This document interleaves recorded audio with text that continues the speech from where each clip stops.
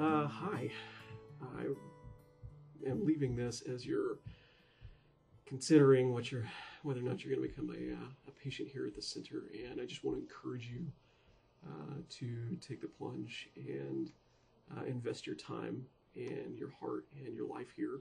And through the support and help of the therapeutic team here, uh, John and Mike is my one-on-one uh, counselors, and just the group work, I was really able to uncover and unpack a lot of the ways that uh, I've neglected to love myself, uh, and in turn have really hampered my own ability to uh, love others as I love myself.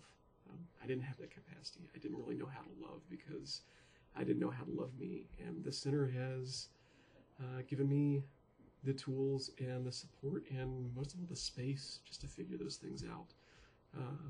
They use top-notch, like evidence-based practices uh, that do produce effective and healthy results if you're willing to put the work in.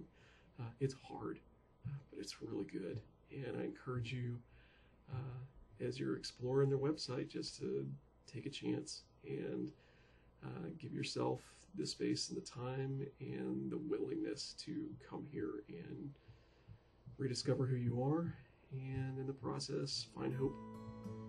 Good luck.